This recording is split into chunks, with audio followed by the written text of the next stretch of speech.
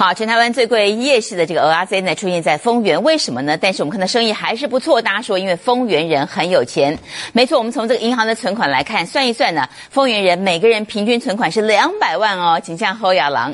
而这一条路中正路，银行也很多，诊所也很多，密度非常高。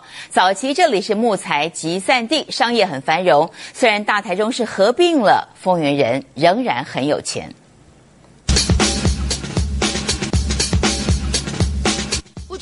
这里还有这里，诊所紧邻诊所，所有病痛不到大医院，而是到中正路。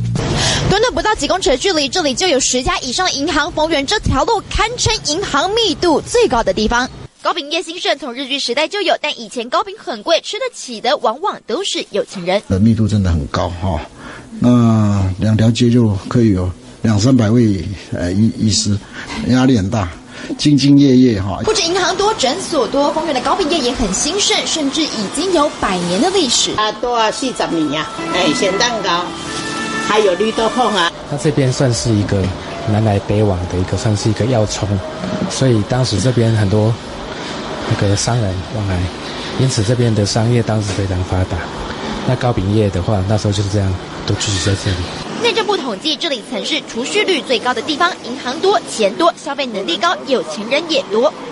整个木材集散地就在丰原作为集散地，所以丰原丰原人很有钱，然后又很节俭，所以他们就储蓄的这个风气非常好，啊，所以他们变成一个金融的中心。